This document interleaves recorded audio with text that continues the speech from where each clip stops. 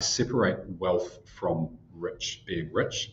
And my position is that I used to think that I was pursuing wealth in my life, but in reality, I was actually pursuing the, the idea of being rich. And I differentiate between those two, and I think this is quite helpful as a context. Rich is having the trappings of money, so material possessions, you know, watches, cars, big houses, um, you know, f- fancy holidays, that sort of thing. And don't get me wrong, those things aren't wrong, but if that's the only reason that you're pursuing it, then I think you've missed an opportunity.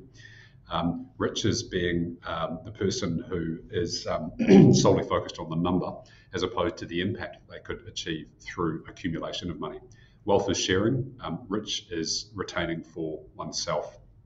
Um, analogy that I use in the world wealth is Warren Buffett, rich is Andrew Tate. You know, that's a good uh, delineation for people. Um, yeah. So, to me, wealth is having freedom, uh, having the choice to be able to both live a life and a lifestyle which is congruent with your values, but also being able to share that with others.